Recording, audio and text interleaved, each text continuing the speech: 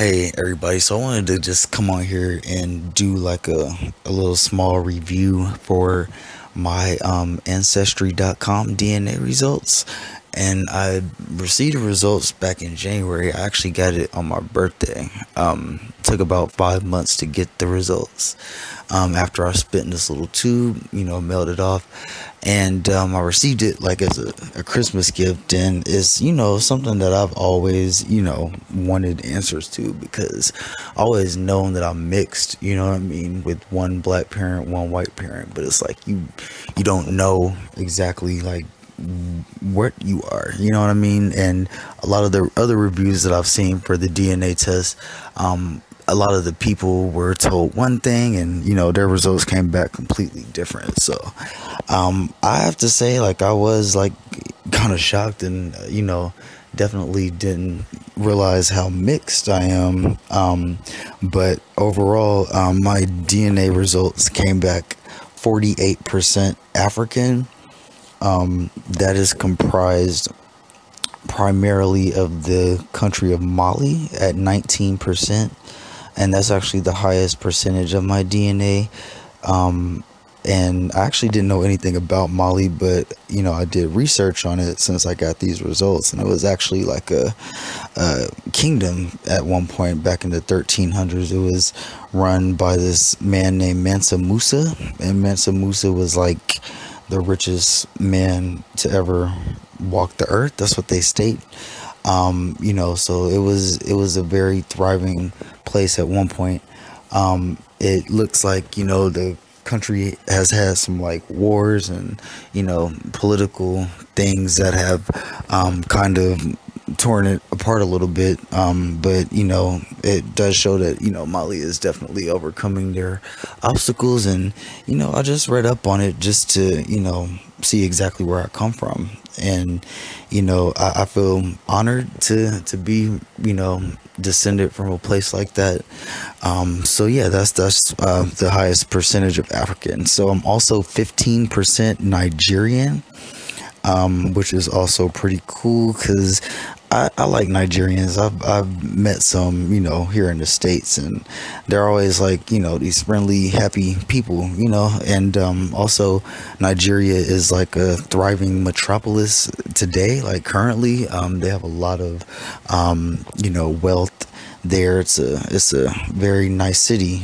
Um, I'm sorry, nice country uh, these days. So, yeah, that's pretty cool. Um, so my next percentage it um, came as 4% Ivory Coast Ghana and the Ashanti tribe is what I've always known from that country. Um, it's a tribe that's run by women. Um, the women are like you know leaders in Ghana and um, yeah I've, I've heard about that it's pretty cool to know that I'm descended from there as well um, then it came with 3% Africa Southeastern Bantu, which it states is primarily located in South Africa, Botswana, Mozambique, and Uganda. Um, so that's that's pretty dope.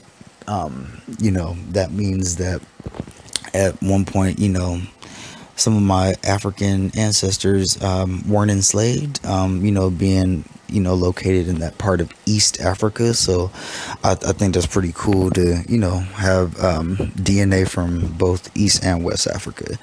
Um, and so the next percentage would be um, two percent Cameroon Congo.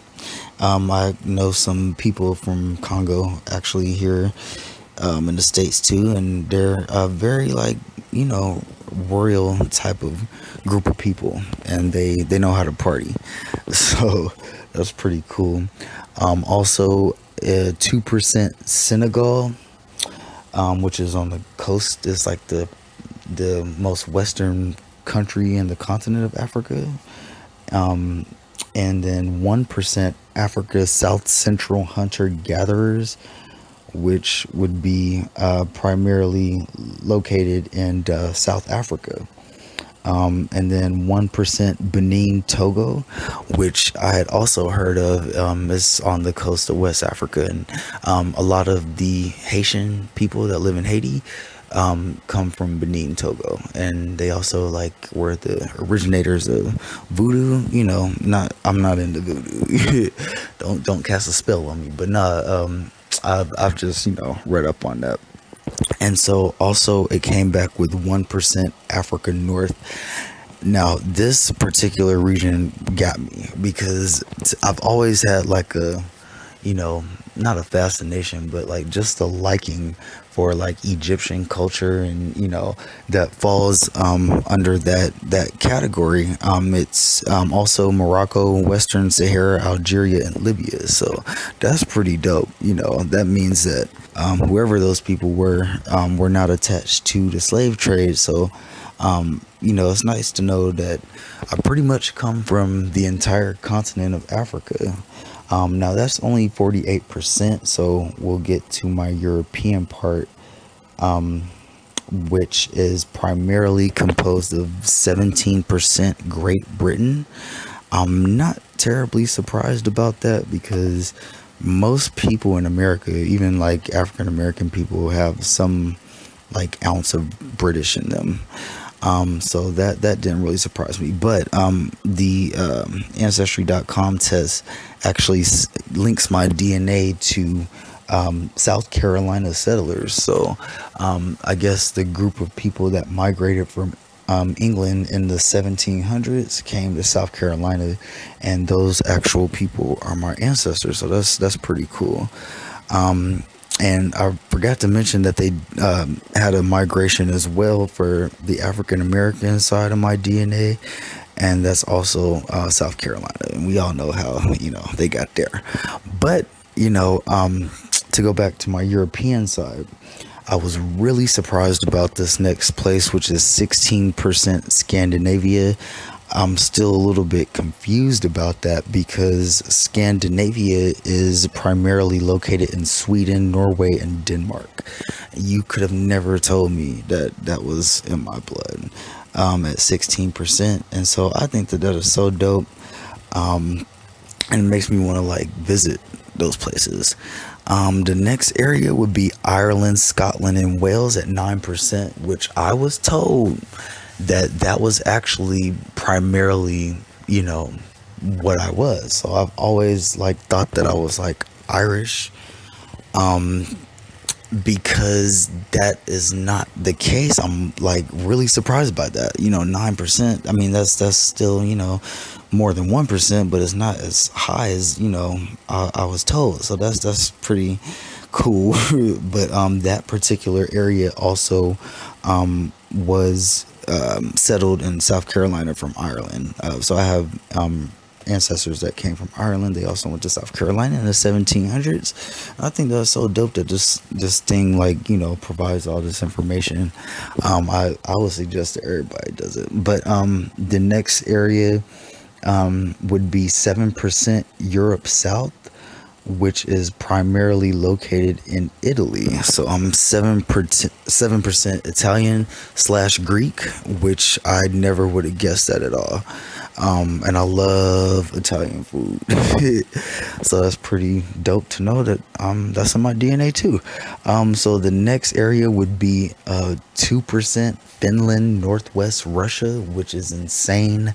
Like, who's from Finland, you know? But like, that's in my blood as well. So I, you know, read up on Finland and, you know, um, these areas, you know, are actually very um, well to do as of as of current, you know.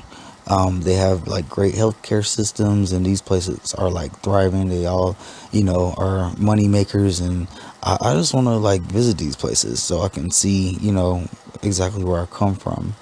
Um, so the next area um, is actually less than 1% Middle East, which is primarily located in Syria, Lebanon, and Israel. This also was a shock to me because it, you know, kind of explains a little bit. Like, I, my, my eyebrows are always like so thick, especially when I was like a little boy and everybody used to like clown me um, for two things. They would, you know, call me like Hispanic, like you're you're you know from Puerto Rico and da da da. Like I I didn't know if that could be the case or not, you know. So this test proved that like that's like not accurate at all. Like my whole life, people have like always called me Spanish or, you know, from South America or just some some type of Latin. Um, but I'm not even European Latin, so there's like not a drop of like any type of Latino in me at all. Um, so I think that's so crazy because like I've always been called like Rico or Suave and all this other stuff. Um, but yeah, um, to know that I'm like Middle Eastern, it actually probably explains my eyebrows a little bit because I always like wonder like why are my eyebrows so like thick? And then like my cousin used to clown me and like with your thick ass eyebrows you know? And I was like kind of like self-conscious about that you know? But um that explains to me you know where that where that comes from. And so that actually would be um, my DNA. So overall, I'm 48% African, um, 51% European, and less than 1% Middle Eastern. Um, so I would definitely suggest that if this is something that you want to do to, you know, learn more about yourself, to definitely get that test. Um, it wasn't that expensive. My my sister actually purchased it for me uh, for Christmas. So I think she paid like 50 something, like, and got it on sale. Um, again, it comes like with, um, you know, the migrations from your ancestors, which is also pretty cool to tell you exactly where they came to when they got to this country. Um, also, you can like hire expert and they'll tell you, you know, um, like which chromosome the DNA uh, consists of from what uh, parent, like the mitochondrial DNA, like a whole bunch of like stuff that um, you can, you know, pay extra for um, if you're interested in that. But um, yeah, um, I'm, you know, very satisfied with what I've received and, you know, definitely um, my African heritage and just knowing like, you know, what our ancestors went through. Um, you know, coming here and just knowing that they overcame and um, you know that that's just it's really dope to me. And it's, it's dope to like see like you know what percentage and exactly where in africa um, and where in europe. So um, yeah i would suggest that everybody try to get that if you can